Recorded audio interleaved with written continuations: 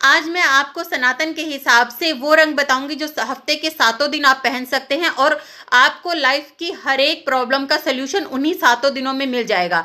तो कहते हैं कि मंडे को, यानी सोमवार को यदि आप सफ़ेद रंग पहनते हैं तो इससे चंद्रदेव प्रसन्न होते हैं और आपकी जो मन की शांति है, दिमाग की शांति उससे, उसे प्राप्त करते हैं।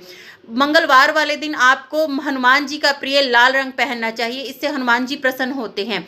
बुधवार वाले दिन आपको हरा रंग पहनना चाहिए, ये रंग पहनने से आप पर बुद्ध की कृपा बनी रहती है, श्री हरि विष्णु की कृपा बनी रहती है। बृहस्पतिवार बृहस्पतिवार यानी थर्सडे थर्सडे को आपको पीला कलर पहनना चाहिए, जो आपको सुख समृद्धि और ऐश्वर्य देता है। फ्राइडे यानी शुक्रवार को आपको माँ लक्ष्मी का दिन होता है, इस दिन आपको सफ़ेद रंग के या अच्छे खिले हुए रंगों के कपड़े पहनने चाहिए।